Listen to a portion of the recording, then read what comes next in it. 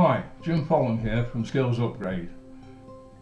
So let's go through the three steps to carry out the continuity of ring circuit final conductors. So uh, when testing we're looking to see that the test measurements agree with the design. Proportionality of conductors is useful in that it enables us to check results as we go along. Uh, examples shown here indicates that if we double the length of a conductor of a given CSA, we double the resistance. If we double the CSA for a given length, we halve the resistance. A useful value to remember for a ring circuit is the proportionality ratio between a 2.5 and 1.5 conductor uh, and that is 1.67. An example is given at the bottom of the slide. Another useful resource is table I1 of the on-site guide. This gives us the resistance of a conductor in milliohms per metre. So if we have an idea of the circuit length, we can calculate what test measurements to expect. There are three steps when uh, we check the continuity of conductors and it is important that they are carried out in the correct sequence. Uh, step one is the end-to-end -end resistance of each conductor and it's measured separately.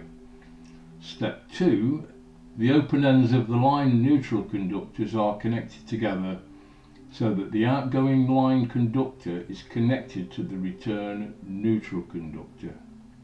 Step 3, same process is repeated for the line of the CPC. Step 1.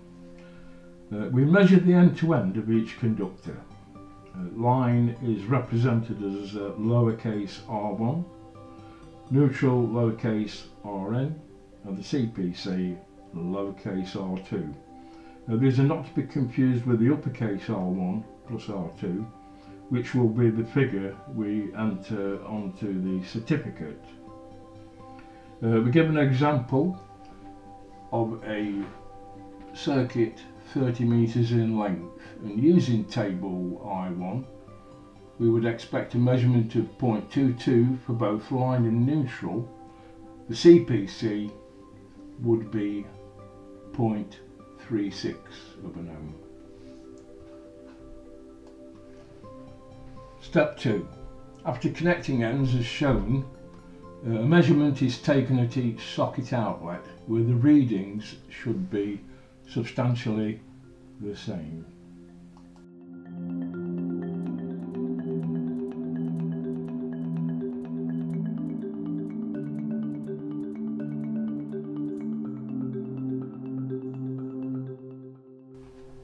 Step 3.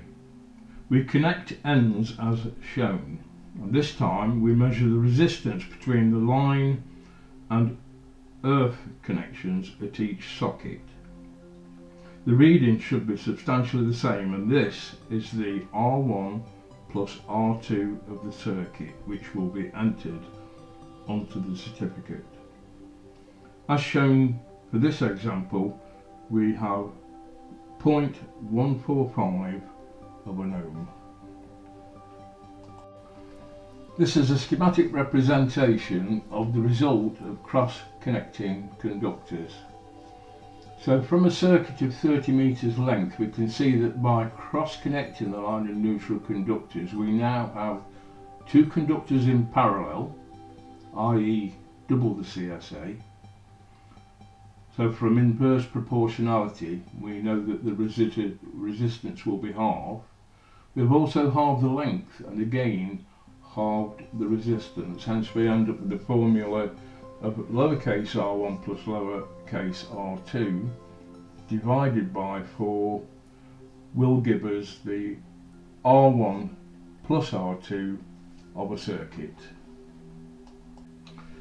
The results entered onto the certificate for this test are as shown. R2 is not necessary. Uh, some certificates include a requirement to tick a live and neutral test.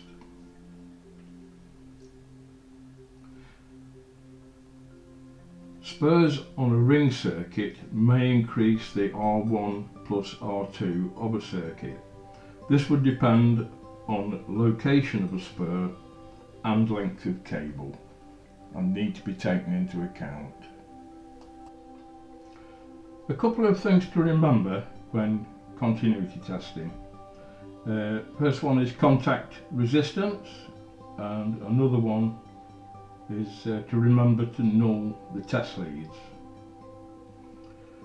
If testing for EICR purposes, other considerations need to be taken into account.